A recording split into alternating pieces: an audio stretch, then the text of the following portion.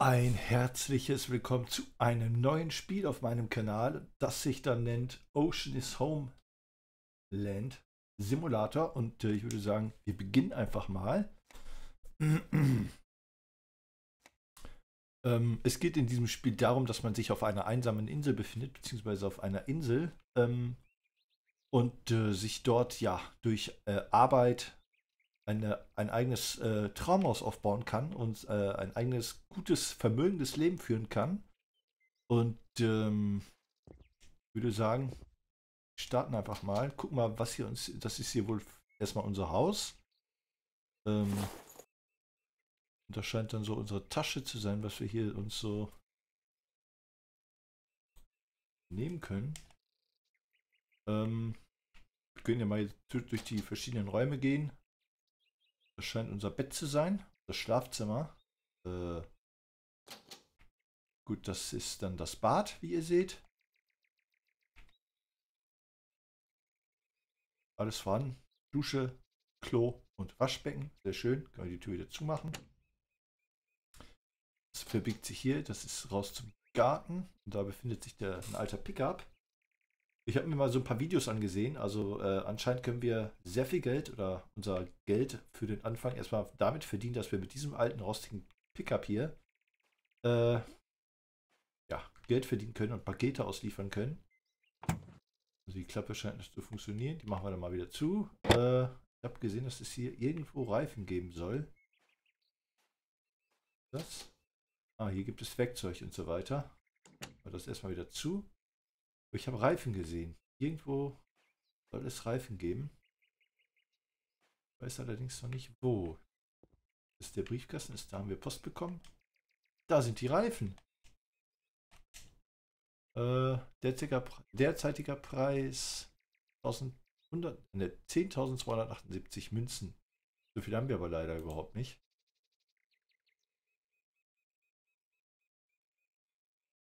Äh, wir nehmen die einfach mal, gucken, was passiert, ob wir die dann auswählen, montieren können. So. Da liegen die Reifen. Ja, wer sagt's denn? Dann können wir die doch schon mal nehmen und an unserem Pickup bauen. Ach, nicht schlecht. Fangen wir mal hier hinten an. Zack.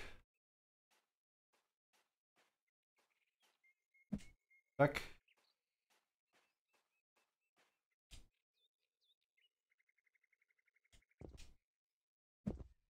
Nein. Gar nicht so einfach. Zack. So, die andere Seite noch.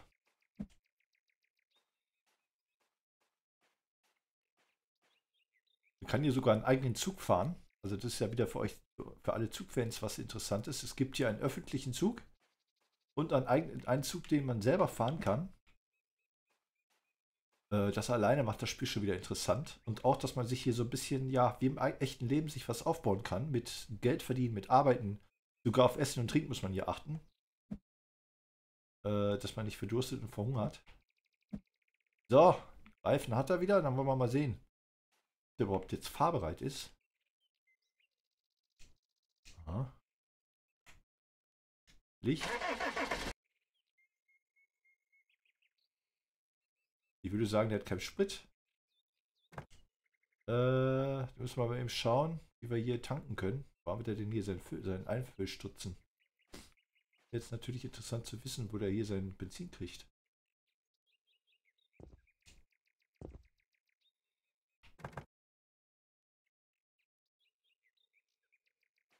Mal die Motorhaube los. Äh, fallen lassen? Nein, nicht fallen lassen. Motorzustand. Fülltank.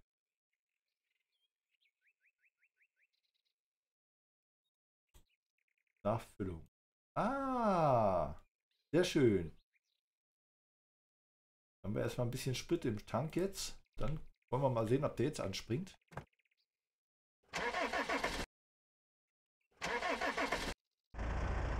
er läuft. So, wie fahren wir denn jetzt?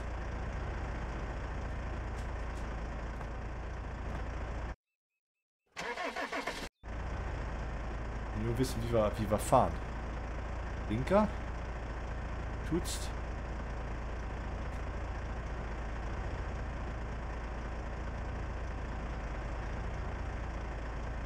Äh. Wie fährt die Kiste?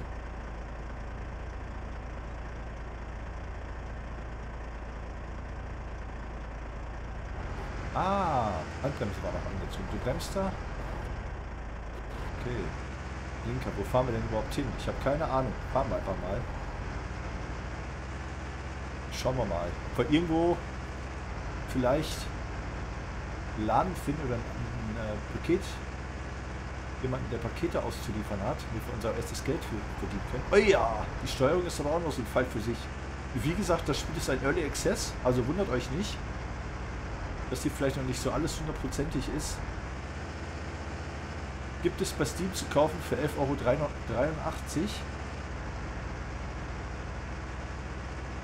Wie gesagt, ein Early Access und nennt sich Ocean ist Homeland Live. City Workshop. Machen wir da mal hin. Oder sieht mir so zu aus der Laden. Irgendwie ist hier, scheint hier nichts los zu sein. Kann das sein? Machen wir mal weiter. Können wir mal so ein bisschen rumfahren, überhaupt erstmal die Insel kennenlernen, was es hier überhaupt zu, zu entdecken gibt. Gesagt, ich spiele das Spiel auch zum ersten Mal. Und, ähm, was gibt's da? Das scheint so ein Supermarkt oder sowas zu sein, oder?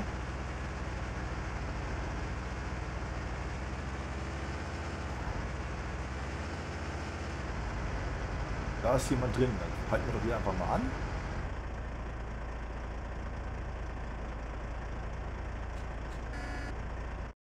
So. Steigen aus. Rein und dann sprechen wir mal mit dem Mann, der uns so zu, anzubieten hat. Start Trade. Einkaufswagen ist leer. Ja, das ist mir schon klar. Gesamtkosten. Kaufen Sie mit Bargeld. Kaufen per Kreditkarte. Ach so, wir müssen noch... Ah, jetzt können hier Einrichtungen kaufen. Tapeten scheinen das zu sein. Den Warenkorb legen. Die sieht aber auch nicht gerade... Also welche Tapete findet ihr denn schön? Das sprechen wir jetzt nicht gerade so an. Oder sind das... Sind das, sind das Vertäfelung oder was, was, was ist das? will ja eigentlich noch gar nichts kaufen. Ich will ja erstmal Geld verdienen, bevor ich jetzt hier irgendwie groß noch Geld ausgebe. Für Sachen, die mir sowieso nicht gefallen. Würde ich doch sagen, lassen wir das erstmal und gucken mal weiter, ob wir nicht irgendwo Geld verdienen können. Das ist nämlich das Wichtigste erstmal. Erstmal wieder die Tür zu. Setzen uns in unseren Wagen.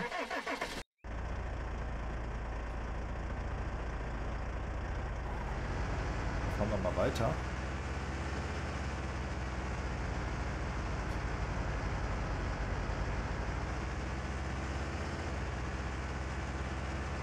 Da scheint Firma zu sein. Das sind die Seekontainer. Vielleicht haben die ja was zum Ausliefern. Wo die sieht so, auch so verlassen aus hier.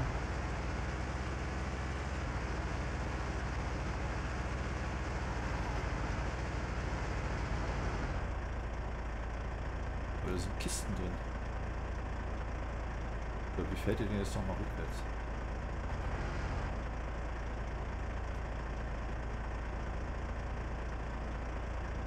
Ich fällt die Kiste nochmal rückwärts. Wie ging das denn jetzt nochmal?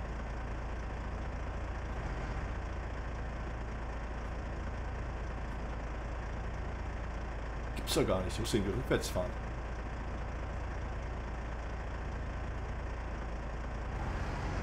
Ist, ja, manchmal ein bisschen komisch. Egal.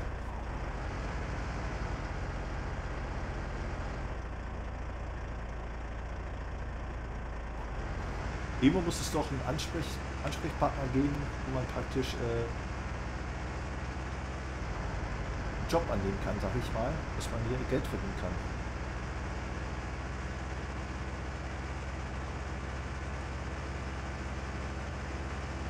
War hier schon auf Ich-Gegenseite.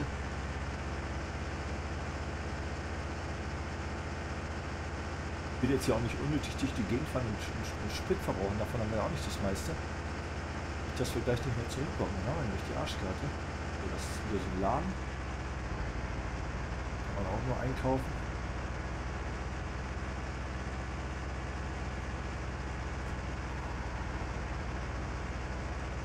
Karte wäre schon mal geil. Wenn ich mal eine Karte hätte. Bin ich ausgestiegen. Hey, mein Auto!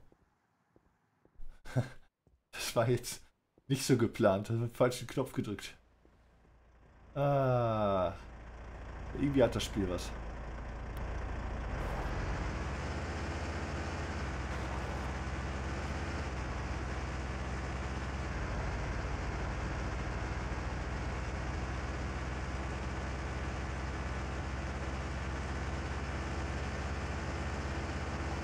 fährt hier und fährt hier, aber irgendwie kommt man hier nicht so wirklich weiter.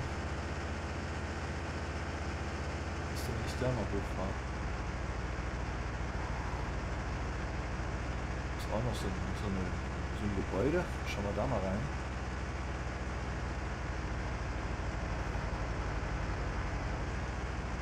Da sind doch jede Menge Kisten. Da sind doch jede Menge Kisten.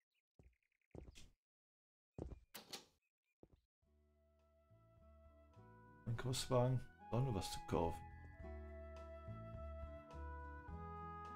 Mal immerhin eine schöne Musik. Kommen wir hier rein. Kann man anscheinend...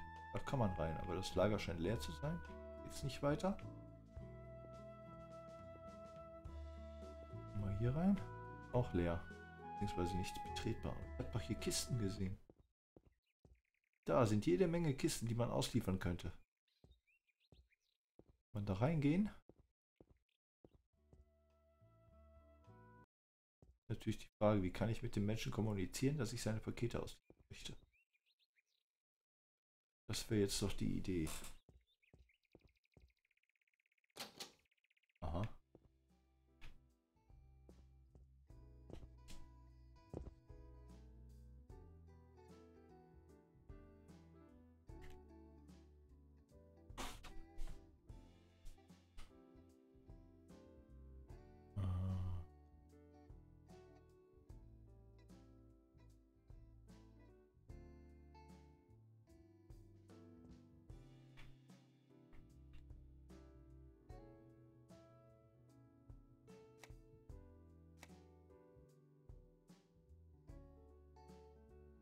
Das ist jetzt noch so die Frage. Wie bekomme ich den dazu, dass ich seine Pakete ausliefern will? Beziehungsweise wie komme ich überhaupt dazu? Wie komme ich denn hier nicht raus? Tür zu? Ach, hier ist der Ausgang. Entschuldigung. So, jetzt habe ich mal die Karte hier geöffnet, dass wir überhaupt mal... Wo sind wir denn überhaupt? Da sind wir. Äh, Züge. Marker des Spielers. Postdomain, Tankstellen, Geschäfte, Standorte, Züge, Transport. Das wäre eine Idee. Hier, Stadtzentrum. Könnte alles Post sein. Stadtautoservice Post. Das. Hier Industrial. Da fällt ein Zug, ihr seht's. Airport. Ich sollte vielleicht hier hin zum Industrial Industriegebiet. Da könnte man wahrscheinlich äh, irgendwie Jobs kriegen. Ich bin jetzt im Moment hier, da müsste ich praktisch so hier rum, hier oben und dann praktisch hier runter und dann links hier runter. Na gut, dann schauen wir mal, dass wir irgendwie da hinkommen. Habe ich das jetzt eingestellt? Scheinbar war. Gut, dann haben wir ja so eine Art äh, äh, Navi. Ich hoffe, der Sprit reicht noch.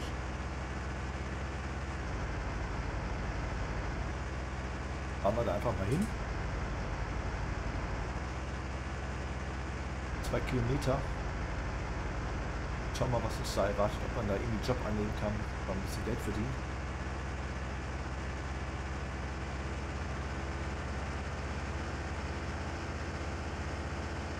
So, hier links. Hey, der war gut.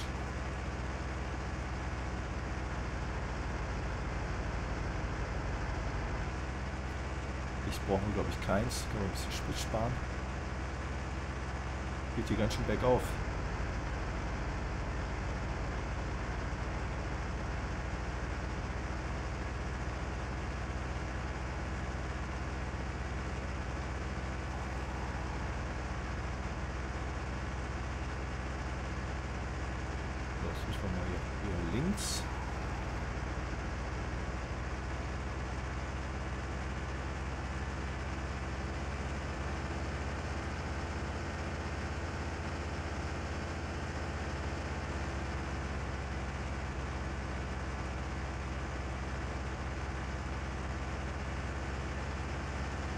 Zieht sich ein bisschen.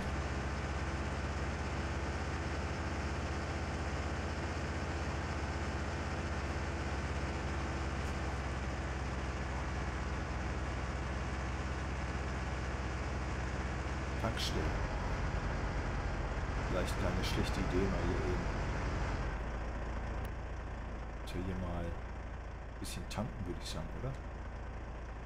Diese Spalte ist leer. Es ist notwendig, Kraftstoff aus den Kassierern kaufen. Machen wir das mal. Start Trade. das jetzt gekauft oder nicht?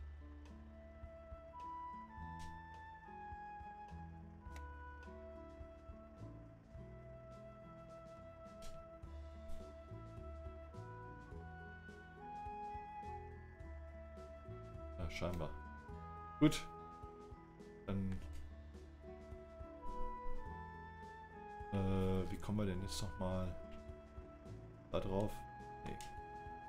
Nee. Da. Haben wir jetzt... Wir haben doch Sprit gekauft, ne? Schneller Zugang. Komme ich denn jetzt äh, an den Sprit her? Gut. Ach, egal. Mal. Tankstelle. Ah, füllen. Nimm alles. Zu übertönen.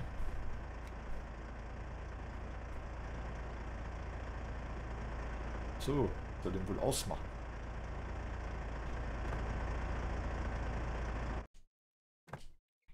Dann suchen wir es nochmal.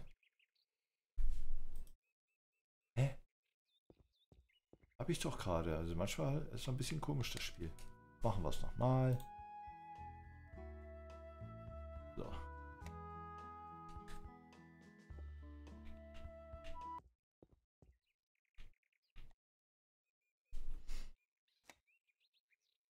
Tankstelle ist abgeschlossen. Sehr gut. Können wir uns ja wieder in unser Auto setzen.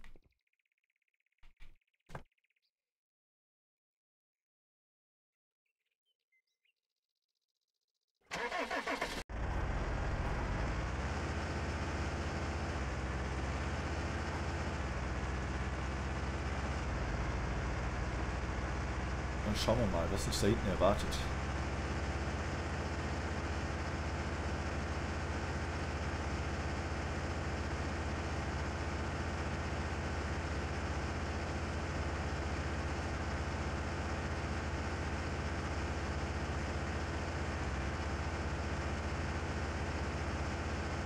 Industriegebiet.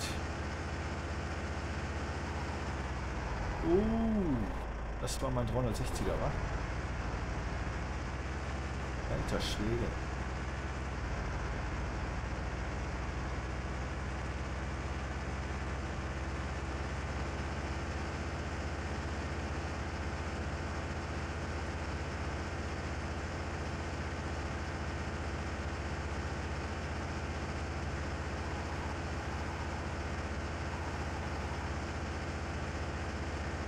Also es gibt hier übrigens auch verschiedene Autos zu kaufen, wenn man natürlich das nötige Kleingeld hat.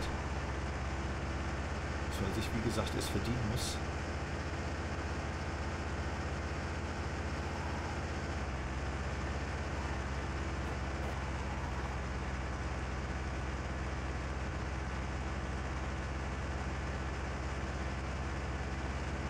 Natürlich ist nicht das schnellste Auto, aber immerhin fährt und man muss nicht alles zu Fuß machen.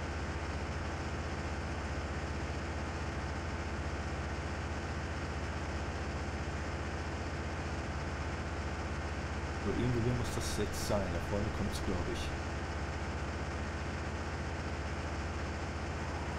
Da ist schon wieder eine Tankstelle. Fahren wir mal hier rechts.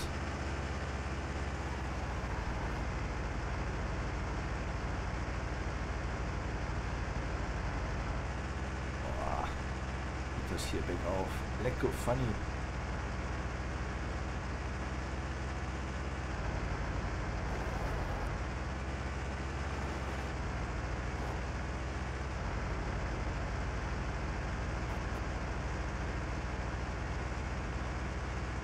Gleich kein Sprit mehr.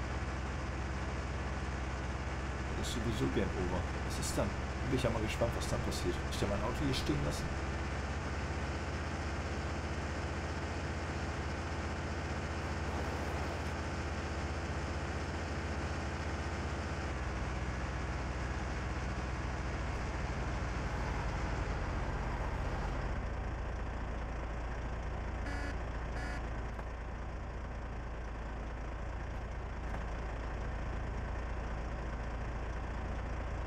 Komme ich jetzt nochmal auf den Scheiß.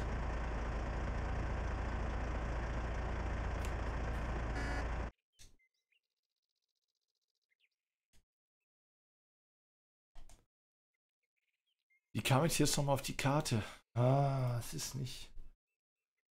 Es ist nicht einfach.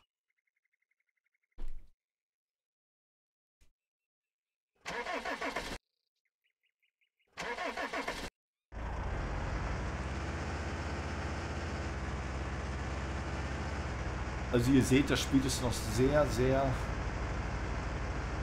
ja, entwicklungsfreudig. Wie gesagt, es ist ein Early Access. Ähm,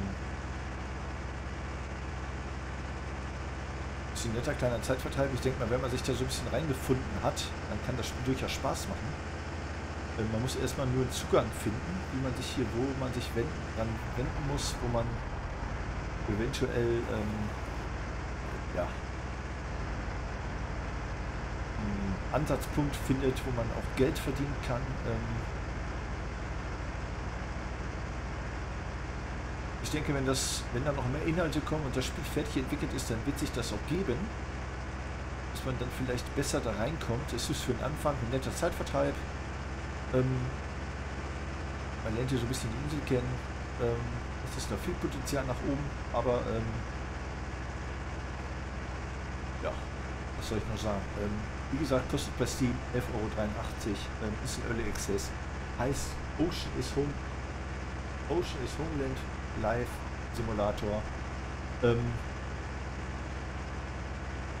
Schaut es euch an. Lasst einen Daumen nach oben da, wenn es euch gefallen hat. Wenn nicht, macht wie immer gar nichts. Ähm, ansonsten passt auf euch auf, bleibt sauber, bleibt mir treu. Bis zum nächsten Mal. Euer der Dennis Spielers. Macht's gut. Ciao, Servus und Tschüss. Mir geht hier gleich der Sprit aus. Und dann hat sich das Thema eher erledigt. So, das war's. Äh, macht's gut, bis zum nächsten Mal. Euer Dedeni Spielers. Haut rein. Ciao, Servus und Tschüss.